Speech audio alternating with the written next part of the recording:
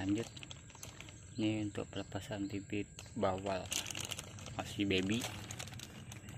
Ini bawal konsumsi. Kita coba pembesaran. Karena kita ngepamnya budidaya untuk